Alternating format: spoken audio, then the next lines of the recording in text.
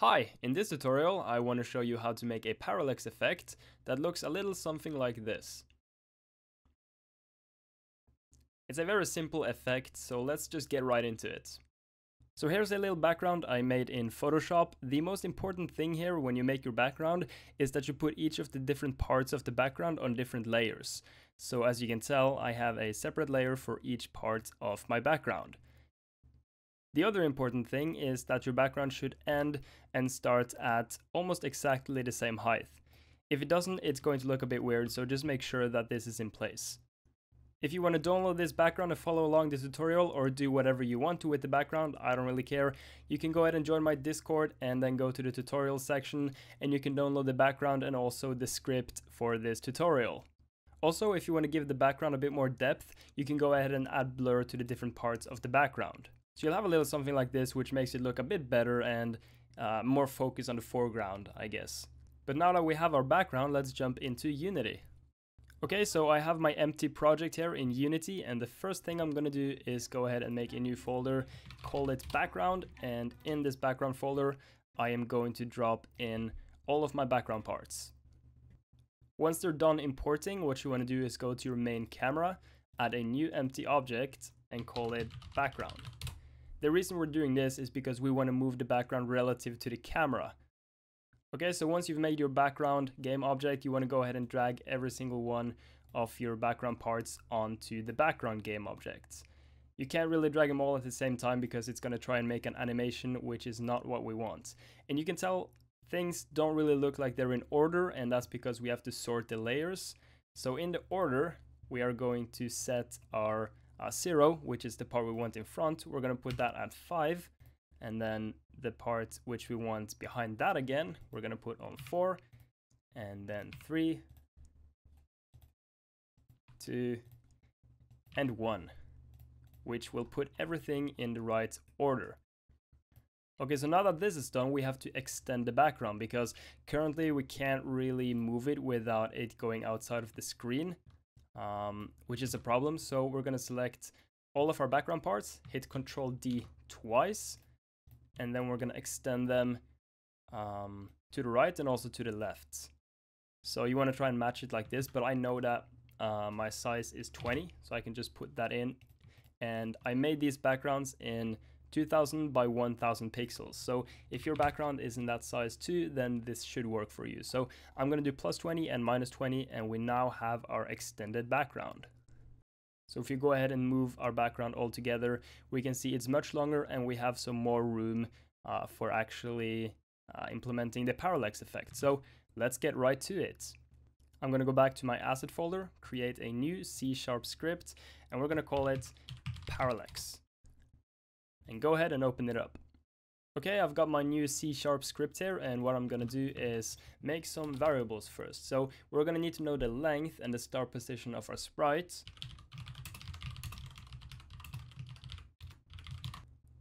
We're also going to need the camera. And finally, we're going to need a public float that will tell us how much parallax effect we're gonna apply. So let's do something like that. And basically this variable we're going to be able to set in our editor so we can select how much parallax effect we want to apply. Now the first thing we need to do is we need to find the start position and the length. Start position should be relatively easy, simple as that, but for the length we need to get the sprite renderer and then find the length from there. So we're going to do length equals get component and we're going to get the sprite renderer going to do bounds.size.x, which will give us the size in x, or the length of the sprites. Now we need to make the background actually move, so we're going to go into our updates.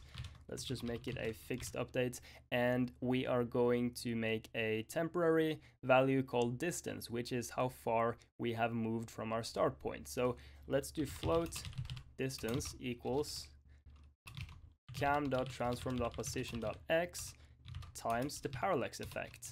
And this will be how far we have moved in world space.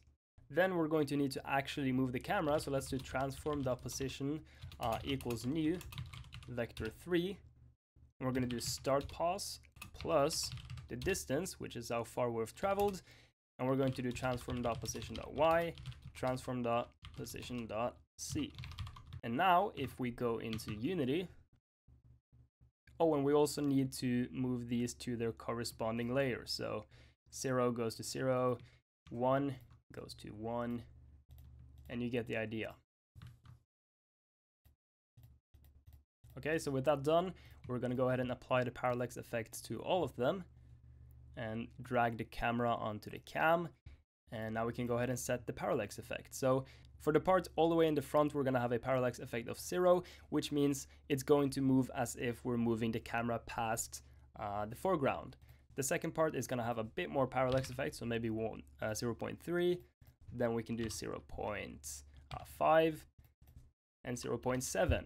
And then for the final background, which is just basically white and a bit yellow, we're to put 1, which means it's going to follow the camera and look as if it stands completely still. So if we try and play this now, it's going to look a little something like this. So we move the camera and you can tell that it looks really good and the different parts are moving at different speeds. But if we move outside of bounds, you're gonna see uh, the background stops because we haven't made it so the background repeats itself yet. So we need to go back into C Sharp and fix this. Luckily for us, this is a pretty simple fix, so let's do float temp. Uh, this is going to be how far we've moved relative to the camera. So let's do cam.transform.position.x times 1 minus the parallax effect. The reason we need 1 minus parallax effect is because, again, it's relative to the camera. Now all we need to do is make a simple if statement. So if temp is larger than the start pos plus the length, we're going to do start pos plus equals length. Else if temp is less than start pos minus length, we're going to do start pos minus equals length. And that concludes the script. If you go back into Unity now, and we try and play, and we go ahead and move our camera, you're gonna see that the background will keep repeating itself no matter how far you move. So if we go ahead and look in the editor window, you can see that when we reach the end, it's going to repeat itself uh, and it just continues repeating infinitely. So that concludes this tutorial. I hope you guys found this helpful. You can make some really cool effects with this. Uh, and if you did find it helpful, make sure to hit the like button, possibly subscribe if you're feeling funky, and I will hopefully see you guys in the next video.